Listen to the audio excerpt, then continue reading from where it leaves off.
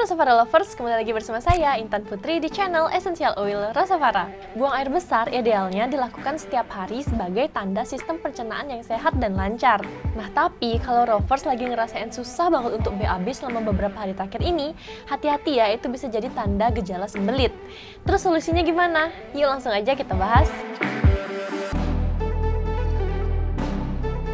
Tapi sebelum itu aku bahas dulu ya 5 gejala sembelit.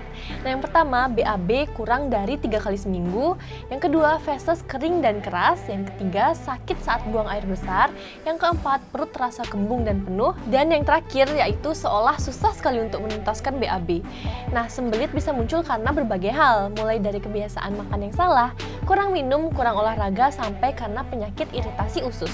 Nah supaya nggak bertambah parah, ada cara alami yang bisa membantu mengatasi tanda-tanda sembelit pembeli tadi. Dan ternyata seiring dengan perkembangan zaman, para ahli menemukan fakta bahwa minyak esensial termasuk salah satu bahan yang bisa digunakan untuk mengatasi sembelit. Dan sekarang di sini aku punya 4 rekomendasi essential oil dari Rosevara untuk mengatasi sembelit.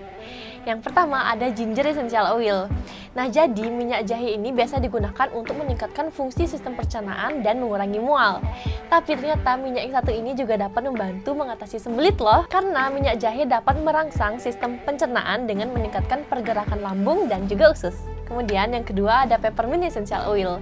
Nah, minyak peppermint mengandung mentol yang memberikan efek dingin pada tubuh. Selain itu, minyak peppermint mengandung sifat anti kejang yang dapat mengendurkan otot-otot di saluran pencernaan. Jadi bisa bikin usus lebih kendur dan membantu meringankan sembelit. Selain itu, minyak peppermint juga sering digunakan pada kasus sembelit yang disebabkan oleh irritable bowel syndrome atau IBS. Kemudian yang ketiga adalah lavender essential oil. Nah, minyak lavender ini banyak digunakan untuk membantu proses relaksasi dan ketenangan. Nah, jadi lavender oil yang menyebar dapat membantu seseorang rileks dan menghilangkan stres yang juga bermanfaat untuk masalah pencernaan, seperti sakit perut, gas, dan sembelit. Dan yang terakhir ada lemon essential oil.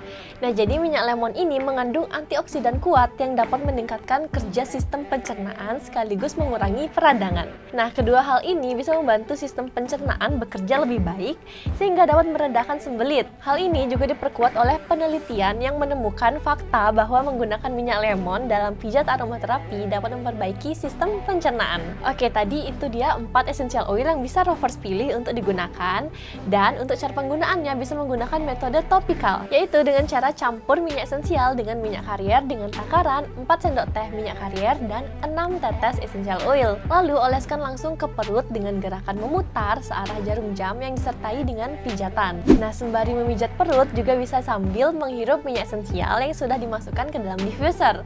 Karena menghirup aromanya membantu mengendurkan otot pencernaan. Tapi ingat juga untuk melakukan tes alergi essential oil sebelumnya, yaitu dengan cara mengoleskan minyak sedikit saja pada punggung tangan dan tunggu selama 24 jam. Nah, kalau nggak ada masalah, baru deh kalian boleh menggunakannya untuk bagian kulit lainnya seperti perut. Oke Rovers, kita udah bahas cara mengatasi sembelit dengan essential oil. Support terus ya channel ini dengan cara subscribe dan like kalau kalian suka video ini. Dan follow juga akun media sosial Instagram Essential Oil Rosavara, karena di sana ada banyak banget info-info menarik seputar essential oil, kesehatan umum, dan yang lainnya. Oke, bye, selamat mencoba!